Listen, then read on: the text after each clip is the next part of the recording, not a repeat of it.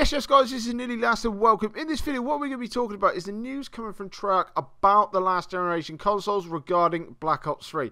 Now, as we've been hearing that with the Xbox 360 and the PS3 versions, there is going to be no campaign mode, no paint shop, and there is going to be no esports. So all of that's going to be taken out of the game. They said that is not viable. They did say a little while ago that they were hoping to have a two co-op on there instead of the four co-op but they just don't feel that it's going to work. It's not going to be good enough. So they decided to cut it all out and only sell it with the multiplayer and the zombies.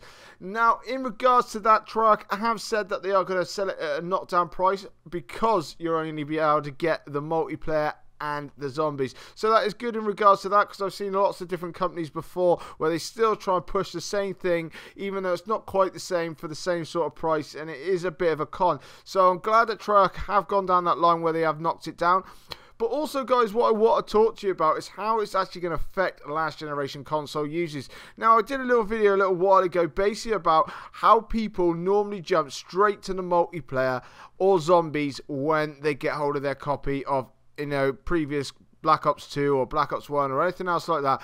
Most people normally want to play the multiplayer rather than what they actually want to play the campaign. Now, I understand that this year it is going to be slightly different. The campaign looks a hell of a lot better. They've put a lot, lot more work into it. Normally, you could just walk through the campaign in like especially like about three or four hours and it was pretty pretty simple. Now obviously they've done it a lot differently. You got a four co-op obviously you got the home kind of like the destiny thing where you can show off all your weapons and everything else. And i would imagine that as time goes by they're going to be adding in different missions and everything else just to try and mix it up so this year it could be a bit of a miss for last generation console users who can't quite get their hands on a like um, the new generation consoles at the moment. So it can be a bit of a downfall for that. I think with previous Call of Duty titles, it wouldn't have really mattered so much because personally, for me, I, I don't ever bother. Like Advanced Warfare, I haven't even touched the campaign.